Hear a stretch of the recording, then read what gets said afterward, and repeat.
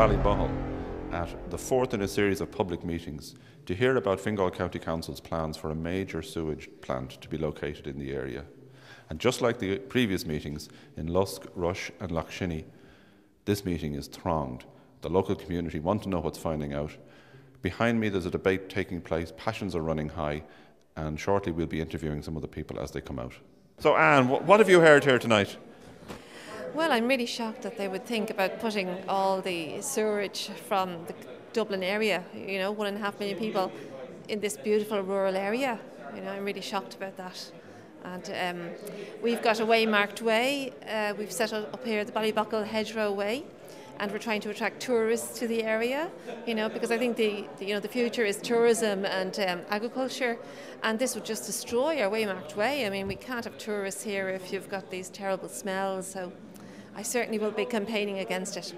David, you say you're from Ballyboughal. How do you think this development would impact on the town? I think it'd be a disaster on uh, the local area, Ballyboughal. Um, Ballyboughal is perceived in North County Dublin as being a very clean agricultural area and producing some fine food for uh, Dublin and the greater Irish um, markets. So, are, are, you going to get involved in the campaign to fight this? Um, I am definitely, yeah. Okay, uh, there's no way, like, um, there's no problem Fingal or Ballyboughal taking its own waste, but the thing of taking the waste from three different counties into a super storage is not on for Fingal. David, what lessons do you think we can learn from the success of your campaign in Portrane? Well, the, you can learn a lot of uh, lessons. The first lesson is to get organised, get your communities together, get organised.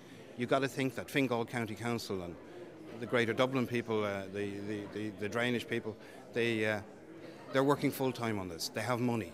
You need to get organised. You need to get funded. You need a funding committee. You need a strategy committee. You need people who can drop leaflets. You need to be on the case here all the time. And most important, what, where we were coming from is that in Portrane, this is not acceptable for, for Portrane, foisting a, an 800,000 person equivalent uh, sewage treatment on a, a small community. And that argument holds up for Rush, Lusk. It is not acceptable. Local sewage treatment plants do it well. And I, I, I, talked at several public meetings and I talked about, asked the people of Swords, how, how their sewage treatment plant has been run, asked the people in Ringsend. They've been appalling. There's an appalling, uh, an appalling uh, uh, history here. Um, I think, I think it is doable. I think we've got to change the public leadership, uh, pu public representatives, and, and Fingal County Council. This is a Celtic pub. This is something that was thought about when in the Celtic Tiger years. It is very doable. I think we, we, we don't need to move it somewhere else. We need to bury this and bury this. And the people in Donabate and Portrane uh, are certainly here to help and, and give any assistance. But you guys, whoever you're out there, you've got to do it for yourselves, you know. Nobody's going to help you. People in South Dublin, you've got to do it for yourself. And I, I said it before this is about local democracies. This is your community. If you do nothing, you will get a sewage treatment plant. And if they don't give you a sewage treatment plant, they'll give you something else. So you've got to change your perception that you're no idiot here. And, and, and, and get out there and fight and do whatever you can. And if that means just writing a few submission letters or, or, or, or delivering a few leaflets, so be it but get involved. That's the most important thing. Okay, Senator Dan O'Brien, you're here at this meeting in Ballyboughal. What do you think the response has been like here? Well, the response is people are shocked. There was a great turnout from the people at Ballyboughal here. This is the fifth public meeting if you include the protests and Swords, and people are mobilising now. And what we're doing uh, is making sure that people are informed about the seriousness of this situation. So, you know, we want to focus on getting the submissions in by the 18th, but we've got to start putting the pressure on.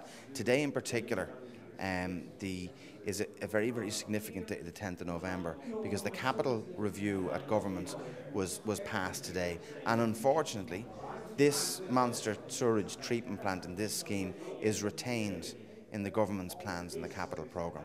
So whilst Metro North has, has been scrapped effectively at a cost of 3.5 billion, which would have created 6,000 jobs uh, in construction and anything up to 30,000 jobs on its completion, that's gone. But what have we got instead now in North Dublin?